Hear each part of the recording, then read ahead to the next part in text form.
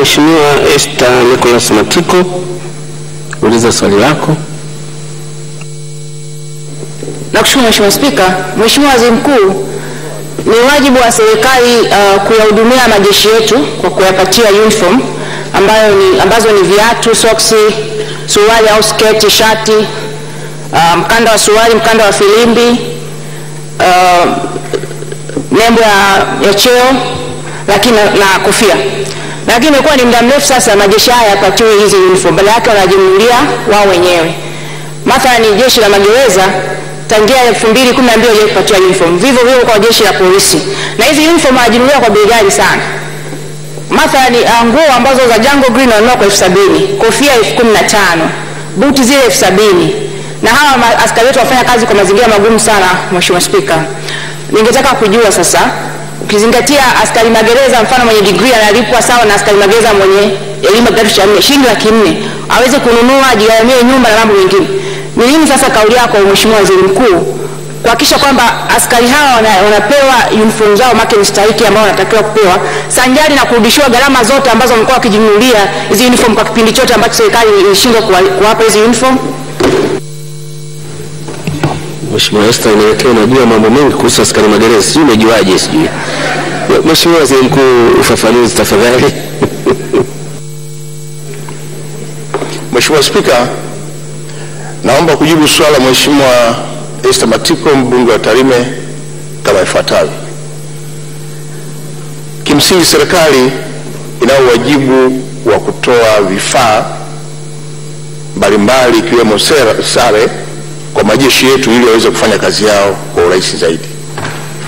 Wizara ya Mambo ya Ndani ambayo inamiliki ina, ina, ina, inasimamia jeshi la polisi, magereza pamoja na uhamiaji pamoja na zimamoto ni wizara ambayo inaendelea kuratibu namna nzuri ya kupata sare na vifaa mbalimbali ili kuwawezesha watumishi wetu askari jeshi hayo waweze kufanya kazi yao, na sera yetu ni kwamba bado serikali itaendelea kuwagharimia na Mheshimiwa Spika, Mheshimiwa mbunge ni shahidi, mwaka jana tumekuwa tukijadili upande wa jeshi la polisi, wizara ya mambo ya ndani ilipokuwa imeagiza imetoa zabuni ya kununua sare, na tukapata taarifa kwamba kuna majora yako pale ambayo yameandaliwa kwa ajili ya kuwapa askari.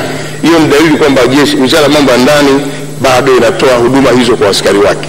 Sasa kama kuna mahali ambako eh, kwa wizara kwa upande huo wananunua hizo sare tutaweza kuwasiliana pia na waziri mwenye dhamana ili tuone kwa utaratibu wa ukoje na kwa nini sasa askari wanunua, na kama ndio sera ya ndani ya wizara tutaweza kujua na tutaweza tukafanya marekebisho kadiri ya mahitaji yalivyo.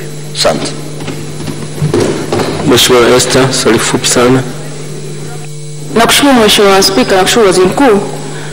Mheshimiwa Waziri Mkuu, ni, ukweli kweli kabisa kwamba hawa askari hawapewi hizi sare, na hata wakifanya paredi utaona uniform zao ziko tofauti tofauti kwa texture, lakini hata kwa rangi. Nitaka pia kujua, maana hujajibu swali langu lile lingine, fidia ambazo watarudishiwa gharama ambazo wame, wakati mnaelewa kujiratibu kuhakikisha wanapewa hizi uniform, je, wataweza kurudishiwa gharama ambazo wamekuwa wakizitumia kujinunulia uniform zao wenyewe? Ufafanuzi, Mheshimiwa Waziri Mkuu, tafadhali. Mheshimiwa Spika, naomba kujibu swala la nyongeza la Mheshimiwa Esther Matiko mbunge kama ifuatavyo. Sasa kwa sababu umelieleza hilo na unaonesha unazungumza kama una uhakika wa kwamba askari wetu wananunua, na ungependa kujua, je, kama askari hao wanaweza kurudishiwa fedha zao kama sera ya kuwapa vifaa bure ipo, basi naomba nilichukue hilo niwasiliane na wizara husika ili tuone msingi wa ununuzi wa vifaa hivyo, halafu tuta, tutaweza kuzungumza vizuri na wizara mambo ya ndani na tutakupa taarifa, Mheshimiwa mbunge. Asante.